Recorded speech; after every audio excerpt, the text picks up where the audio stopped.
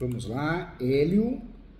Hélio pergunta aqui, professor Júlio, estou adorando a sua pós-graduação, parabéns pelos seus livros. O livro de Direito Imobiliário é o mais vendido no Brasil atualmente, mas vale a pena esperar. Que legal, fico feliz.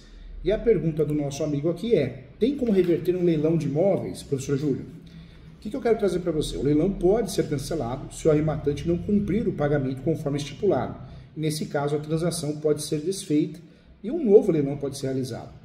Existem possibilidades também, entre elas, é, como também é, vícios no leilão, onde pode impactar de fato na desmotivação ou no cancelamento ou suspensão judicial do leilão. Então pode sim, tá? Então fica aqui é, a dica para você, através de uma ação judicial, embargos de terceiro, talvez uma ação nulidade de leilão, com a tutela antecipada de suspensão, e temos a ação anulatória também. Tem que ser estudado cada caso, mas nós temos aí pelo menos 13 teses que podem gerar a suspensão e a nulidade do leilão no Brasil. Não são muitas, mas são 13, 13 teses boas.